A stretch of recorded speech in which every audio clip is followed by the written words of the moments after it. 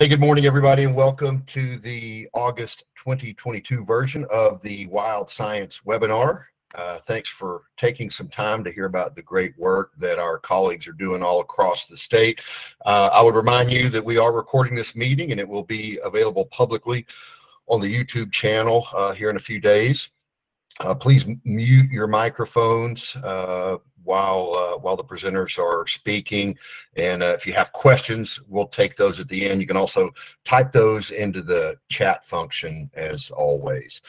Uh, so let's get started. Today we are going to be hearing from Maurice Jackson and Jeremy Wood. Maurice will be talking about the Family and Community Fishing Program uh, and its uh, recruitment, retention, and reactivation approach during the pandemic. And Jeremy will be talking about keeping track of wild turkeys in Arkansas. Uh, Maurice is going to be going first. Uh, for those of you who aren't as familiar with Maurice, he graduated from the University of Arkansas at Pine Bluff in 1997 with a bachelor's degree in fisheries biology. Maurice went on to earn a master's degree at UAPB in aquaculture fisheries in 2003. Started his career in May 2000 as a supervisor with uh, Alabama Wildlife and Freshwater Fisheries, managed their largest hatchery for about six years, and then worked another six years as Alabama's first aquatic education biologist. Uh, he's been with the Game and Fish Commission for 10 years, located in the Little Rock office, and has served as the Family and Community Fishing Program Coordinator since 2015. 2015.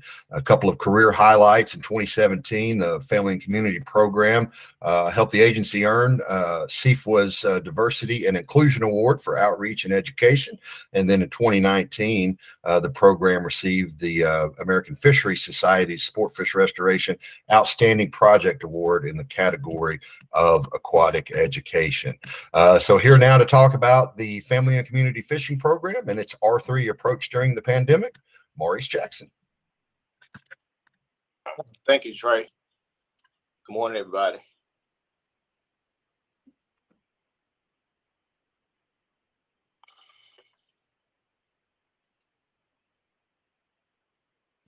You're in business, Maurice. Looking good. All right.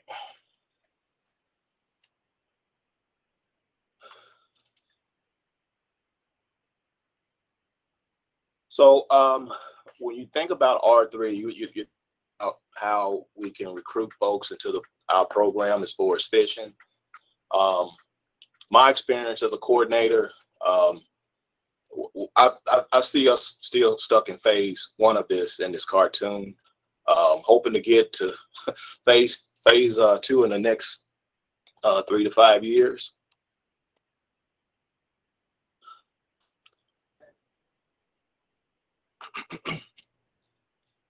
Mark Duda with um, responsive management um, had some insights on how to really deal with R3, and he's he offered these suggestions. Um, he thought that making um, R3 a, a, big priority as far as creating a division within each agency would be uh, would be the best bet as far as uh, recruiting more, more customers into uh, um, our agency's programs He, that that division should be equal to wildlife, fisheries, and other divisions within that uh, division. He thought that if we didn't invest that time into those uh, into a marketing division, we would uh, we wouldn't do well. So, for example, um, I, I, dug a little deep into this, and I found that uh, what the U.S. Small Business Administration recommends that we we use between six to twelve percent of our gross income on um, on marketing um, the long run, in the end, it'll benefit it'll benefit everyone. So let me give you a case study here. This is um, Anna. We met Anna about five years ago. Anna came to a trout event here in Central Arkansas. Had a good time. Uh, kept about, you know, she caught a limit of the fish. Caught about ten that day. Here's Anna again. Uh, five years later. I hadn't seen Anna since the, that that trout event. So between that span of her being introduced to this is her at a catfish event. You know, if that well, there was an opportunity to market, you know, products that Game and Fish produces. I mean, of course, you got the family community fishing program, but you got a lot of other programs that her dad may be interested in. And during that whole process, look, they even had another child. So when you think about the family community fishing program, of course we did we we we, we we're involved in a little of the marketing part of uh, trying to get the word out about the program. But the program is nearly 25 years old. We have 49 locations. Um, of those 49 locations, we put you know they get stocked with trout, and we do this in a seasonal fashion. We also do tag fish to, to keep our anglers engaged. Um, and we also known for some of our outreach events. And we've had events that had up to 5,000 people. Um, some of our colleagues have coined us the, the, the face of R3. Just myself there and uh, my colleague, uh, Clint Coleman. So we're involved in, you know, a lot of aspects of the program. Um, here's one of our new locations that that's under construction right now. Got one of our biologists. We work with them and developing these locations. That's where he's standing actually where the boat ramp is going to go in. And here's another project that we finished up that we kind of came in on the tail end. They contacted us and said, hey, we got this pond that we're building. Uh, would you guys come out and give us some advice on it? By the time we got there, they dug a 30 foot hole. I said, why y'all dig the hole so deep? They said, well, we can put more fish in there. I was like, no, it, it doesn't work that way. But we eventually got it all figured out and moved on some other some other things. So during COVID, uh, we actually celebrated opening of several locations. This is one of our newest locations in Redfield. Got a lot of hugs uh, during COVID during that time celebrating these locations. There's never been a city to call us back and tell us to come back and get the fish. Once we establish these locations, they're there. They're there. Love them. Uh, during COVID, we created this pond locator tool, which is a pretty useful tool for our anglers. We want them to get there easily and safely without having to go in, going through obstacles. Now, all our locations are not on this on this map. This was created by GI, GI, GIS division, but we're working on getting all the locations on there. And so here's a, a, a blow up of uh, Pulaski County. Pulaski County has more locations than any other part of the region of the state. And if you think about other states like Texas, Texas uh, has about four locations in the Dallas Fort Worth area servicing 7 million people. So we're kind of blessed to be at the head of the game as far as getting locations out before the areas are overdeveloped. So uh, Northwest Arkansas is our next area of focus to get more locations. Uh, if you click on one of these numbers, uh, it'll take you to the, you know, you got a cool little picture showing, highlighting that that, that location. Um, the, the, the, the pond mapping tool actually produces some data for us. And it actually shows you how the, the use of that map when people uh, when we start our season, our seasons. So for example, here we start trout season around the middle of September, and you notice um, there's traffic, people using that tool. And around this time, right before Christmas, we'll stock the fish. We'll stock tag fish for trout to get our anglers out and about and uh, introduce new people to the program. And and this little bump here is another uh, way we, we advertise through our regular channels to uh, get folks to to the ponds. But if you notice in catfish season, you see all these big spikes. So this is the first part of the month this past season that we actually put out digital ads promoting uh, that the ponds are stocked. And then you got the second part of the month in May is when we put the tags out. Now we're giving away eight uh, tags that are worth eight eight hundred dollars. If you send in a, and the grand prize was a, a guided fishing trip and if you, if you follow this map, uh, these little spikes here, these are different events we did around the state and different ads that were running through that season. And so last year we had 109,000 people to use this um, this map, but it was used 105,000 times. But this past season we had 109,000 uh, uses out of this map. Of course, um, you know, like Trey mentioned earlier, we won several awards as far as um, getting the program out, information about the program. We're probably the best in the nation when it comes to uh, outreach. Um, um, and we also involved with the AFS Hutton Scholars. That's something we added to our plate just recently, and they're trying to look uh, engage the next generation of fishery scientists. And we're the first to uh, create this uh, sign, sign in Spanish as well to reach out to uh, our Northwest Arkansas partners.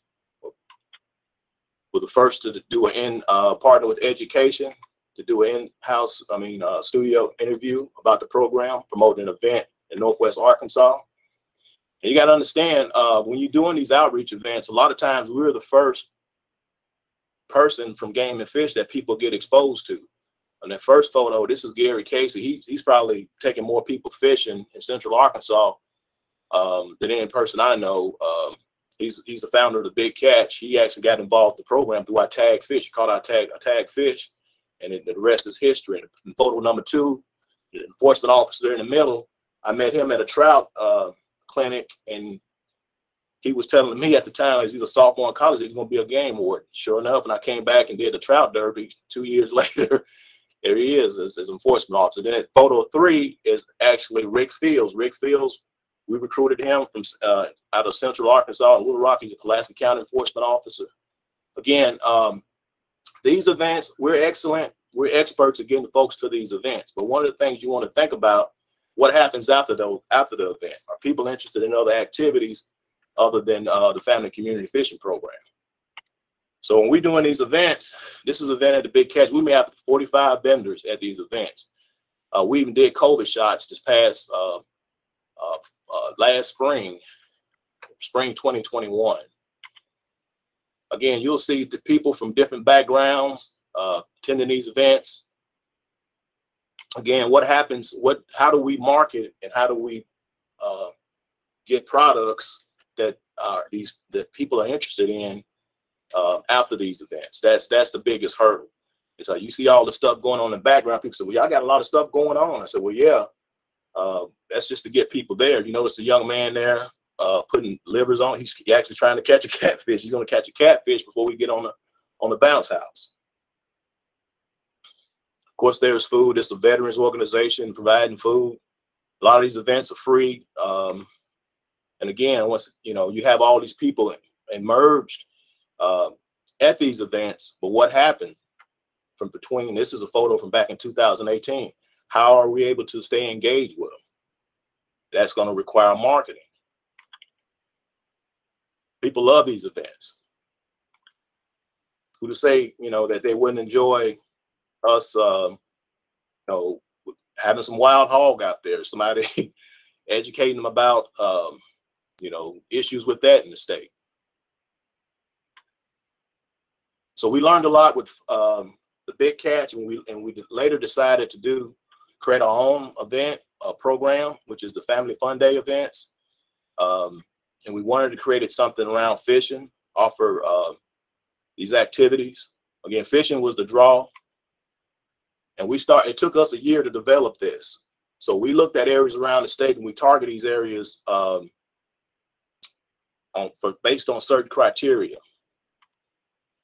We also wanted to create some images that were that were that was inviting, um, that was welcoming to the people that was that was seeing the, the, the advertisements. We also created our own web uh, registration page, both in English and Spanish.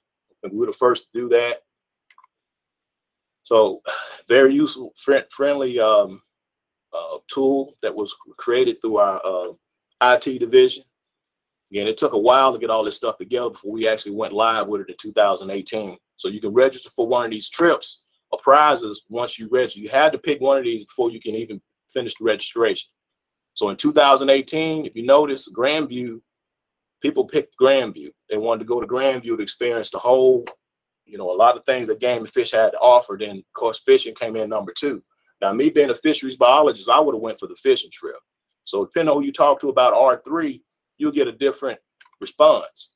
So like in 2022, this is four years later, we still see the same thing. This is 59.1%. People still want to do the uh the do Grandview. Then fishing came in at a strong number two. And again, we have a lot of women coming to these events. Uh, nationally, 30 some percent women participate in fishing. But here with these events, we're, we're blowing them out the way. Women are involved in it, 62% again, um, I, I, providing you know these images of people doing different things is what what I think what drives them. This lady here, she actually traveled to all our family fun day events. We held three in different regions of the state. And one of the cool things about this photo, she's one of the rare that actually targeting other different other species other than what we have in our ponds. This young man won one of our first individuals that won a trip. for our family fun days. This is about four years ago. Hadn't been in contact with him since. This lady here, this young, this man, he actually won a hunting trip. And he, when I talked with him, he said, "Hey man, um, I want to take my dad. He's getting elderly, and I also want to take my daughter. My wife goes hunting, but she, you know, she just sits in the deer stand.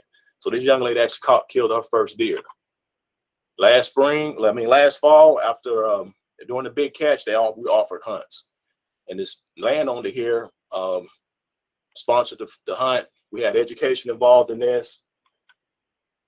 This, this uh, young lady here actually won hunt too. She won that trip. But that young man was fishing for catfish in September and he killed his first deer last November.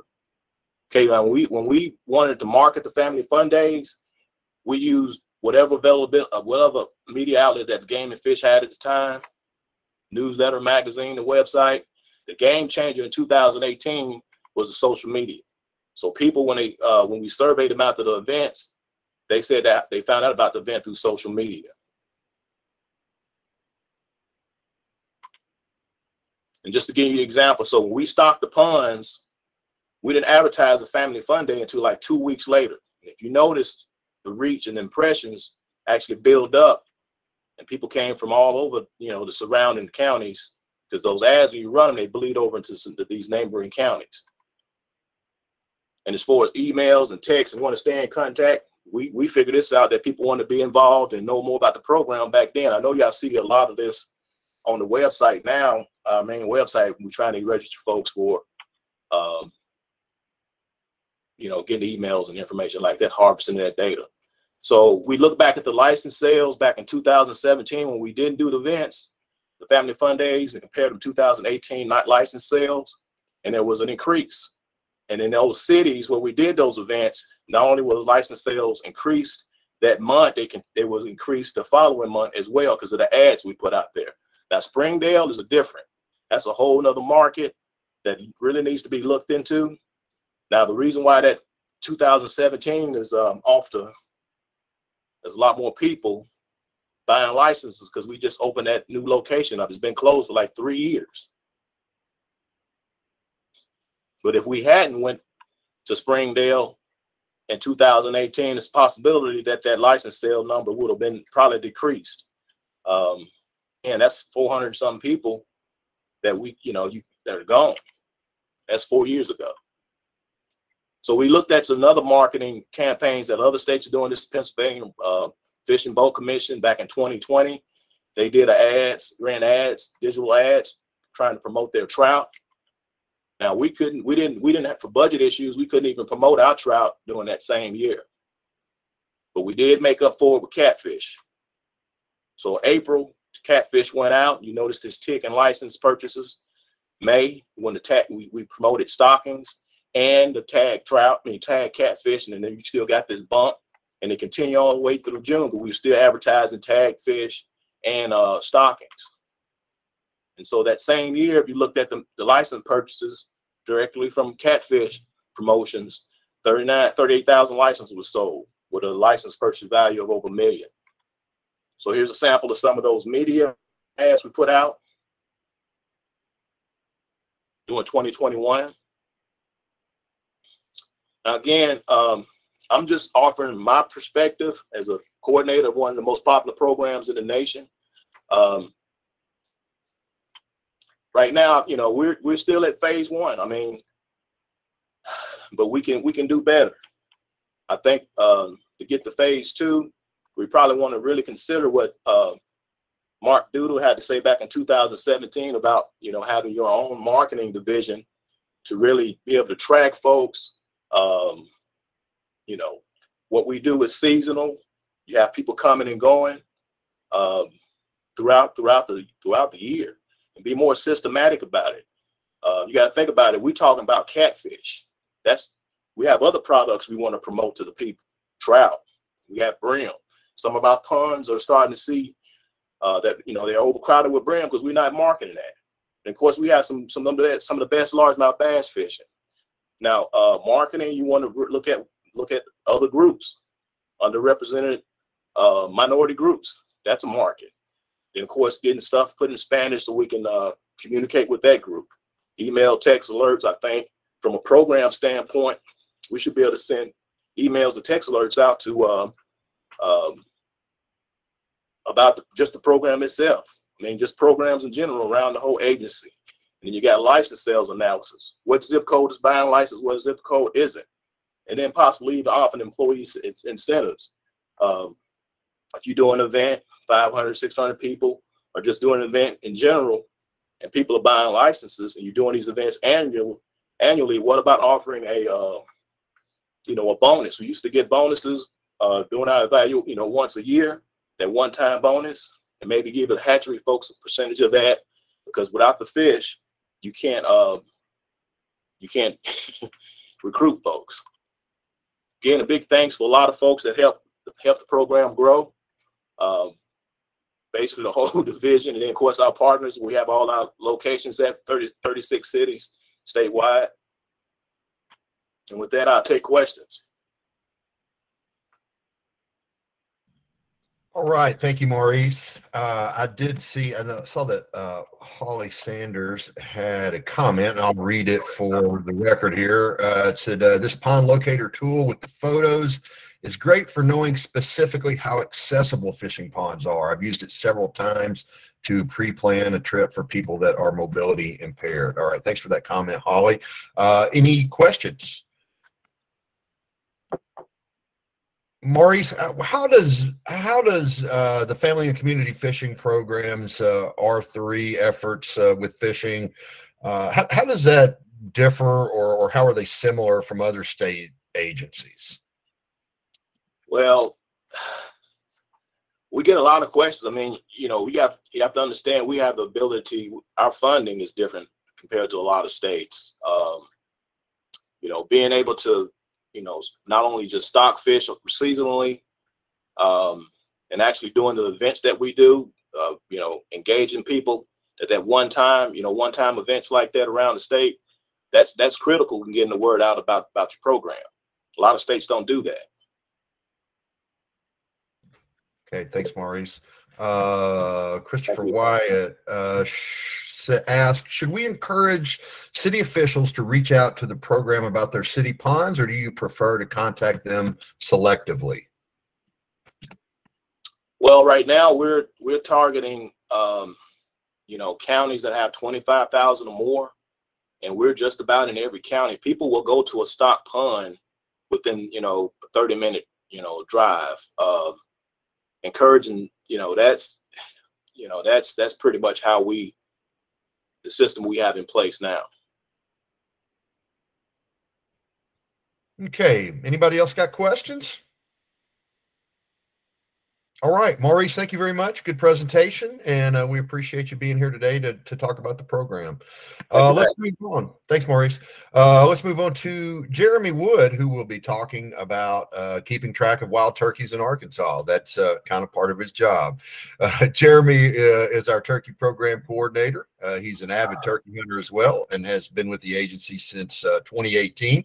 He's the current chair of the Southeast Wild Turkey Working Group and also serves as the Arkansas rep for the National Wild Turkey Federation Technical Committee. Uh, both of those groups are composed of turkey biologists across the Southeast and the nation, respectively. Prior to coming to work for Game and Fish in 2018, Jeremy worked as the Assistant Wild Turkey Program Coordinator for the Florida Fish and Wildlife Conservation Commission. Uh, he received his graduate degree from the University of Georgia in 2017, where he researched the impacts of prescribed fire activities on wild turkey reproduction. Once again, Jeremy will be talking today about keeping track of wild turkeys in Arkansas. Jeremy, the floor is yours. All right. Thanks, Trey. And hopefully everybody won't hear the uh, loud noises in the background. Apparently the neighbors are getting uh, fiber optic cable laid right now. So hopefully that won't be uh, coming in on the, the background noise. But get this to pull up. I think we should be looking good. All right, so kind of start off. I mean, obviously Trey mentioned I'm the turkey program coordinator for the state, and you know, overview of the talk today is kind of to, to look at how we we keep track of wild turkey populations here in the state, and somewhat of a you know a call to action for folks because you know the only way we can keep track of wild turkey populations is through a lot of input from both agency staff and, and from the public. And you can't not talk about you know the history of wild turkey populations when when you try to have a, a, talk like this and you know historically you know prior to the 1900s you know early settlers and naturalists that moved through arkansas you know wrote about indicated that there's fairly abundant turkey populations here in the state. And but then over time you know as european colonization moved westward arkansas began to become more settled.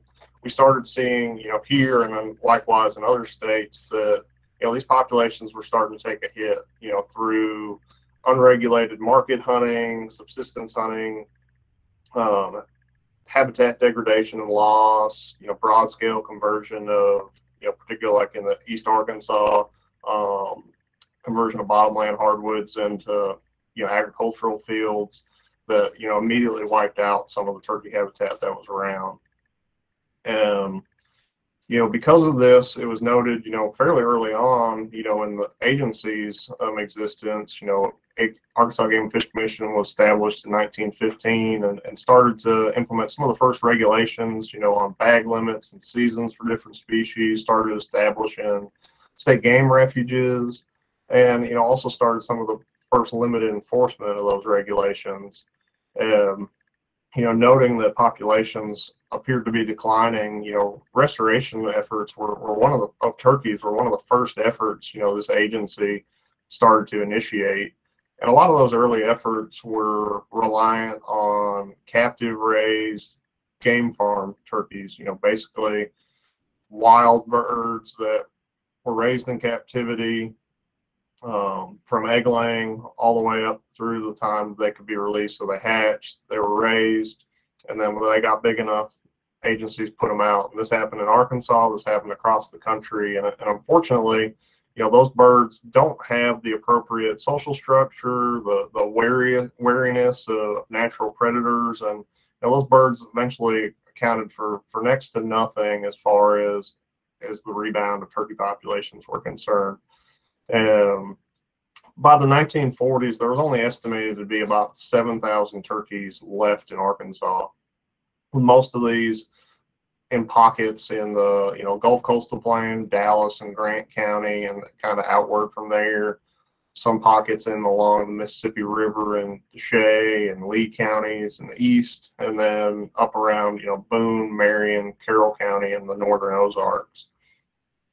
And it wasn't until the late 40s and the early 1950s that, you know, cannon netting techniques were developed that allowed for the capture of wild birds in their natural habitat, you know, like this image on the top left, birds getting caught in a net. This is in a modern rocket net, but that was just a variation on, on these older cannon netting techniques and what we use nowadays for, for research. And then you put those birds into boxes like on the bottom left, and they were used to, to transport those birds within the state or potentially from other states or out of state. Um, you know, there was there was a lot of birds being moved around between the 60s, you know, 50s, you know, on into the early 2000s in a lot of states as their restoration efforts were were ramping up. And overall, there was about only about 7,000 wild turkeys restocked across the state. There's a few more when you incorporate all of those those game farm turkeys. Um, however, again, those didn't amount to much. And in the end, you know, this was deemed a relative conservation success story, you know, here in state and, and a lot of other states. And so you see, you know, when we look at our spring turkey harvests over time, going back into the early 60s, you'll see that, you know, harvests were increasing steadily during this restoration period. And the majority of Arkansas's restocking efforts were done by the early 2000s. There was a few minor stockings up until about 2012. But but you see that we hit this high point in 2003, and then populations or, or harvest, you know, begin to show some declines. And obviously, that's got managers, it's got hunters, you know, alike concerned about what's going on. But it leads you to, you know, trying to figure out, you know, how do you, you know, attempt to to monitor populations and, you know, do you use harvest? Do you use other methods? What are some of the, the challenges with with looking at those different metrics to to really tease out how your populations are doing. And so with that, you know, there's several different ways that you, know, you can monitor turkey population and, and other wildlife species for, um, um, and those are things like censuses, estimates, and, and indices. I'm going to touch upon those those briefly and some of the reasons why turkey populations here in the state, and then what, what we do attempt to utilize to, to monitor turkey populations. So the first being a census, and this is this is probably the most ideal um, estimate that you could use.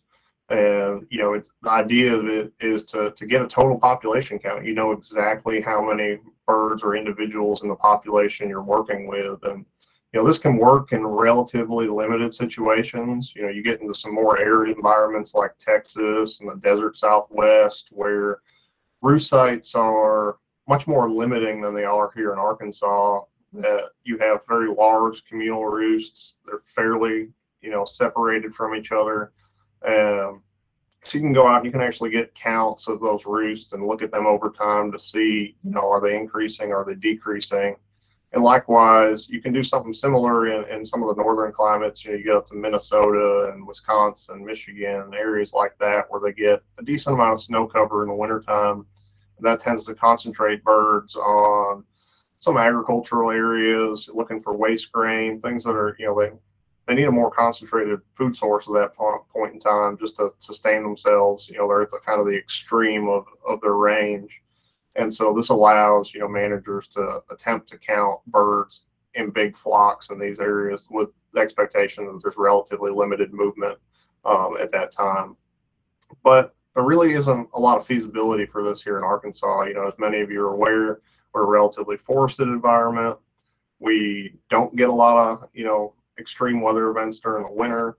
And because of that, you know, birds are, are hard to find, they're hard to see. Um, you can't just go out and expect to see them every time you're moving about the landscape. And particularly from a roosting standpoint, you know, almost every forested area in Arkansas, almost any tree could be be utilized as a roost. And so they're a lot more spread out. They tend to be smaller, and it's harder to to attempt to to count birds in those areas.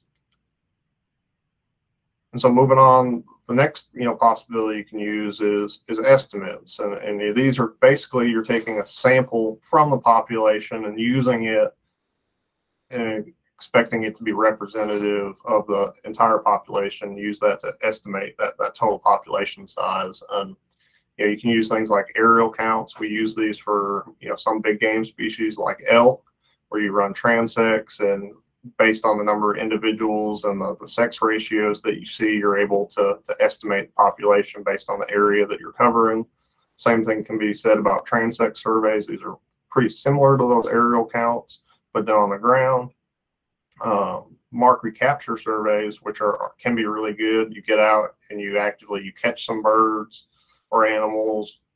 You mark them, whether you know with a band on their leg, patagial tags on their wings, something that you can identify those individuals. And then in successive attempts to recapture those, you, you weigh the number of recaptures versus the number of birds that are, are new and try to estimate your population that way. But the problem again being that a lot of these can be intensive, they can be relatively expensive, and again, detectability is is difficult. You know, you've got birds again in, in a very forested environment. So, you know, like this bird here on the lower right, that has a alphanumeric color band on it. You can read that the number's A2, but if you don't get that bird popping up enough on cameras, and we, we've done this recently with the University of Arkansas Monticello attempting to estimate male density, you know, if you don't get those birds popping up on enough cameras, it's really difficult to, to tease out what that density may be. So we tend as a state and, and a lot of states throughout the country to put more focus on things like indexes or indices that you know basically what these are is they're they're taking some sort of a measurable factor that you can monitor trends within it.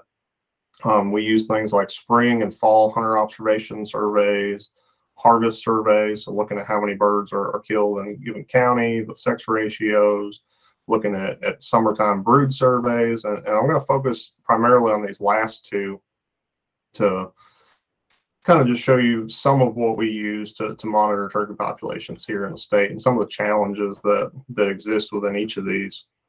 So, you know, when we talk about harvest indices, we we're looking at that total harvest, but you know, if, if someone were to just look at our harvest over time, they would probably deduce that it appears that our, our turkey population has declined nearly 65%. And you've probably seen this in some popular news articles over the last several years. But the problem is that, you know, harvest alone is not a good predictor of population trends.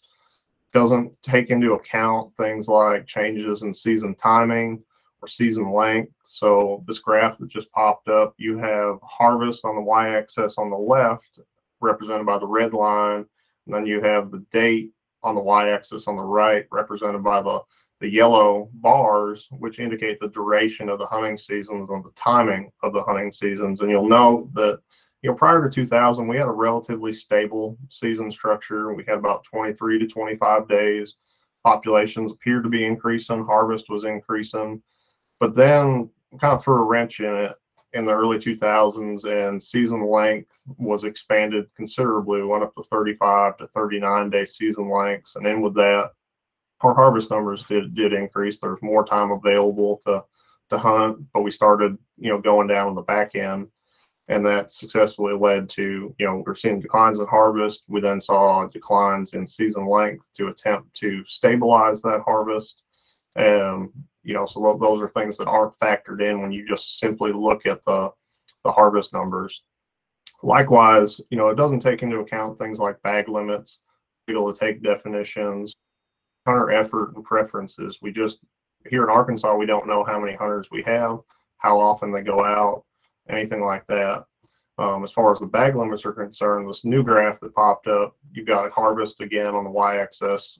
and you've got total harvest in red, adult gobbler harvest in yellow, and Jake harvest in green. And what you'll note is over time, prior to the year 2000, Jake harvest was unrestricted.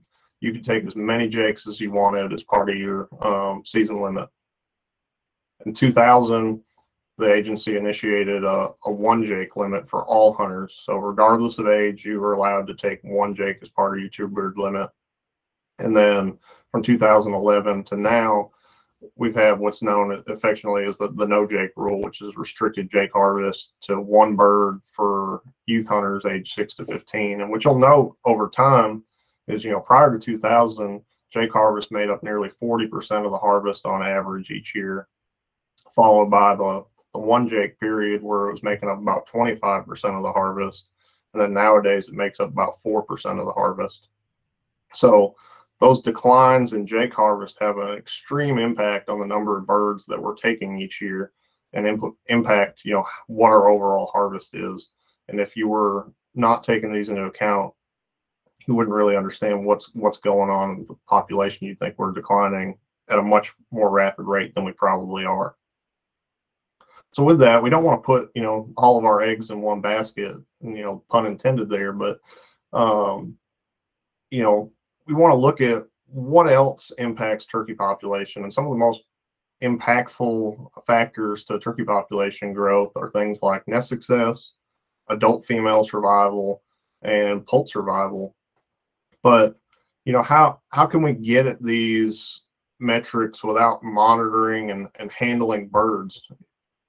What can we measure then, you know, regards to that. Obviously, these are all easy things that we can get a hold of if we go out and spend the time to capture birds in the wintertime. But again, that's really cost prohibitive to do that and do that everywhere in the state.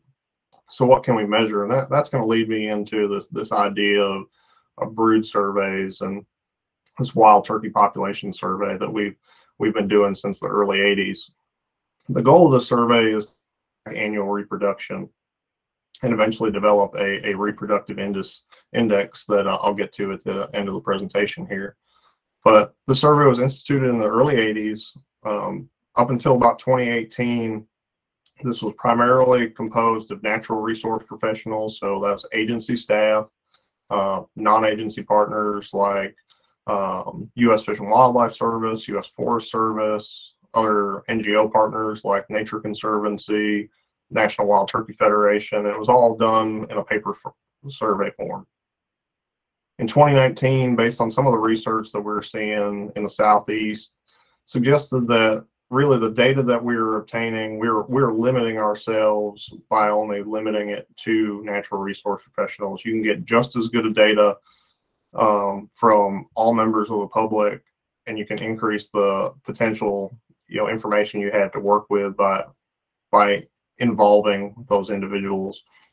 And with that, we instituted an electronic survey because it allows for more real-time tracking and up-to-date information throughout the season rather than a paper record that we wouldn't necessarily receive till you know a month after the observations were made or at the end of the season you know so that three month period there's a lot of risk to having those sheets lost or damaged. Um, this way we get all that information as it comes in. And what individuals do is they're recording all of the individual turkeys that they see when they're out whether that's a you know, a single female, like here in this image, you know, pulling up to a WMA gate to a closed access road, or if it's a group of adult gobblers or a group of, of hens with a bunch of poults out there, you record each of those observations independently.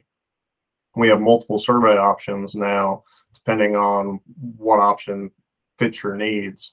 So we have the Arkansas GI, or ArcGIS Survey 123 Field app, which provides some offline capability.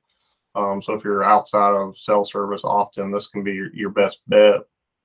Also, you know, many of you likely have the Game and Fish mobile app on your phone for checking deer, checking turkeys. There's a tab under there for wildlife observations.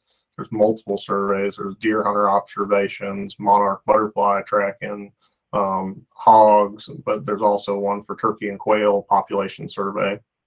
And then lastly, you know, if you, you spend more time on the computer, you can go on the AGFC website, agfc.com slash turkey surveys, you can pull up the survey dashboard where you get an introduction, a link to the survey itself, and then as well as some some dashboards that allow for for real-time data tracking. Allows you to see where your information is going. It keeps track of all the submissions that we get the different breakdown of the age classes that are observed and observed by county and what you'll note is within the survey you know you're asked for fairly specific location information but again being a turkey hunter I, i'm aware that you know it's it's a it's a hard sell to, to give up locations of individuals and so i'm very cautious about how how that data is shared with the public. We only do that at a county level basis so that you don't have to worry about you know how your information is shared. We use those locations on the back end to help better under our better our understanding of distribution and hopefully in time we'll be able to tie that to you know a measure of density or or relative abundance and compare that to habitat suitability within the state so we can better focus our management efforts to areas that need it most and where we can get the most bang for our buck. So all that being said, you know, what, what do we get out of it? What do you get out of it? Um, you know, at the end of the day, we're developing this reproductive index, which is known as the, the poult per hen index. And what you'll see here is poult per hen on the y-axis on the left, represented by the yellow line, and harvest, again, represented by the red line on the y-axis on the right. You'll note through time from the initiation of this survey that poult per hen indices, you know, relatively high and were declining from the get-go. And that's likely due to some some artifact of populations being low, more birds you were seeing, the higher probability that you're seeing larger groups of, of poults and there's fewer hands running around that didn't.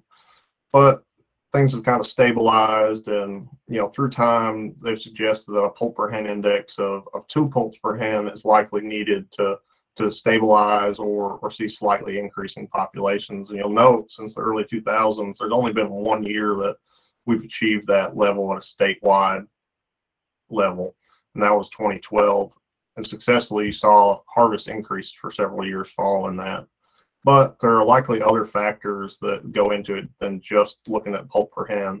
Um, again, adult survival, nest success, all those things probably fluctuate to some degree and allow that that poult per hen index to be a little bit higher a little bit lower um, when you get to that stable or slightly increasing. So the hope is that you know some of our recent improvements in brood survival or poult per hen indices moving from around one poult per hen to one and a half that we're starting to see some positive improvements in our population. And likewise, when you look at this just at 2021, you'll note that you know we are still seeing some areas or regions within the state that do achieve that two poult per hen mark, but statewide, when you average it all out, it's obviously a bit lower.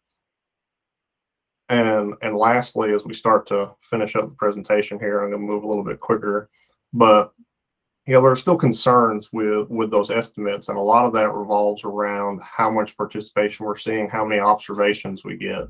And so one of the goals that I've had since starting was rectifying these partic- persistent participation concerns. You know, early on, it was noted that you know we had steady declines in survey participation and observations prior to 2019 and so what can we do about that we opened that up to the public and and as such we've started to see an increase in trend here likewise you know the data that we're getting is has been clustered in 2018 when i started nearly half the data was coming from only 10% of the counties in the state now in the last few years we've increased that to about 45% of the data coming from 15 to 20% of the counties in the state. So still not great, but we're, we're moving in a positive direction there. And likewise, we're seeing a shift in participation, which which should be what we would expect as we improve our communications and get the survey information out there more. But we're shifting from participation from natural resource professionals towards the public in most of our counties. You know, early on, it takes a little bit for people to uptake the survey, find out about it, but we're seeing that shift from blue to pink over time. And that makes sense because we have relatively few um, natural resource professionals in the state. We have many, many, many, many more turkey hunters in the state. And so I hope that in time this this map looks like it's all pink and that we're still getting our agency participation, but we're getting a lot more um, participation from the public. And with that, um, that just kind of leaves me at that kind of that call to action. Um, you know, as you saw, we have about 250 participants, you know, annually right now. That's about half of the employees we have in the agency, but it's it's less than a percent of the turkey hunters we, we have here in the state. So even if we got one or two observations from every turkey hunter that was out there throughout the summertime, we would have so much more data to work with and understand what our populations were doing in a, in a more accurate sense than trying to extrapolate based on a lot fewer observations. So with that, I'll take any questions. And if you're interested in participating, you can either follow the link at the bottom of the screen or scan the QR code. And with that, take any questions. All right. Uh, thanks, Jeremy. Uh, how about questions? Uh, I've I've got a couple I know, but uh, I always jump in with mine, so I'll let others uh, type anything into the comment box or pose those questions now. Anybody? Jeremy, I think the natural question and uh, one that turkey hunters who may watch this later will want to know where we how are we tracking with uh, both observations and uh, and uh, some you know brood survey stuff uh, right now. I mean, what uh, what what's going on on the landscape right now? Yeah, so I mean, so far, based on the numbers we have, you know, things are looking good. They're looking, you know, comparable to the last couple years, which have been a, a significant improvement over the 2015 to 2019 time period. I mean, those were four of the five lowest reproductive years on record during that period. Um, so the last couple years have been significantly better. I'm hearing a lot better reports from folks on the ground. They're seeing more birds, kind of excited where things are headed. Um, but likewise, you know, the number of observations that we've got is, you know, a little bit lower than we've had the last couple years. So we're hoping that we can can get a few more of those. The this the timing of this uh, presentation was, was pretty good. We still got one month left in the, the time period for the survey. So most of the, you know, particularly the young birds that are seen at this point in time, they tend to be older. They're a little bit easier to see. And the likelihood is they're, they're probably going to be recruited in the population. They get past two, three weeks of age, their, their survival goes up a lot. So the more birds we get during July and August that are recorded, the better, better our estimates are and the better um, we can assess what that population status is looking like. So, so far so good, but you know, like I say, it could be a little bit better as far as the observation. So I would, I would encourage folks if they have been seeing them and haven't been putting them in to, to put them in for sure. All right. Thanks, Jeremy. Anybody else? Any more questions before we wrap this thing up? All right. Uh, Jeremy Wood, thank you so much. Maurice Jackson, thank you. And thank you to everyone here on this uh, call, this meeting, who uh, took some time out of your day uh, to hear about a couple of great programs going on here at the Arkansas Game and Fish Commission. We'll see you next month for the September version of the Wild Science webinar. Take care, everybody.